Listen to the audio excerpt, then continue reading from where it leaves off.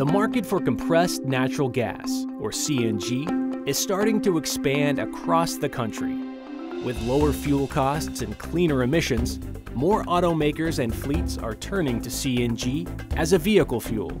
CNG actually has over 40 years of real-world experience uh, as a vehicle transportation fuel. So although it's something that's just re-emerging in our discussion, we actually have millions of road miles and that means millions of real-world experience that vehicle and en engine manufacturers can draw on. So both in this country and in, in other markets such as Europe, South America, and Asia.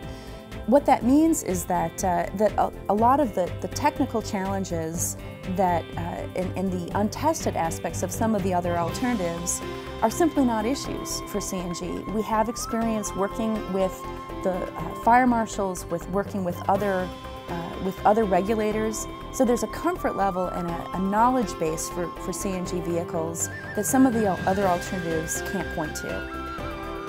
California has always been a strong environmental leader.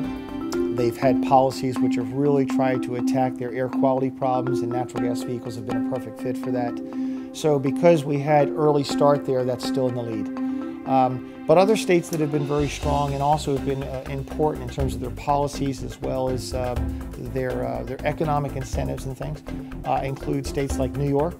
Um, we've seen lots of great activity in, in Texas.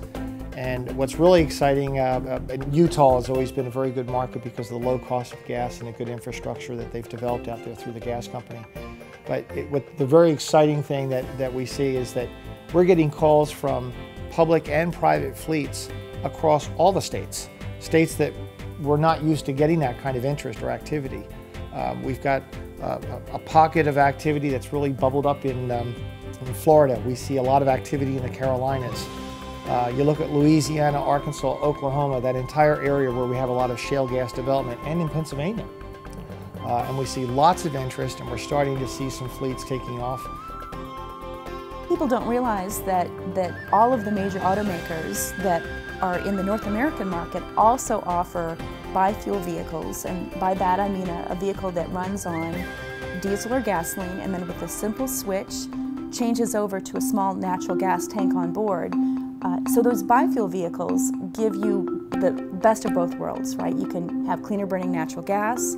If you exceed that range of perhaps 100 or so miles, uh, then for very long trips you can switch over to gasoline or diesel. And that alleviates a lot of the early infrastructure concerns that people have about the availability of, of refueling for a CNG vehicle. What was called the Civic GX has been around since 1998, I believe it is, and it's, it's still to this day is the cleanest production vehicle out there. Uh, that's one vehicle that's available. There's a growing selection of vehicles that are coming from these small volume manufacturers who have the EPA and or CARB certified systems uh, to retrofit their existing gasoline vehicle to run on natural gas. And some examples, I don't know if I'll get them all, but uh, we've got Ford Focuses, we've got Ford Fusions and the Mercury Milan, uh, we have all the different pickup trucks from Chevy and Ford, and we recently had the introduction of the Dodge Ram 1500 as well as the Mitsubishi Raider.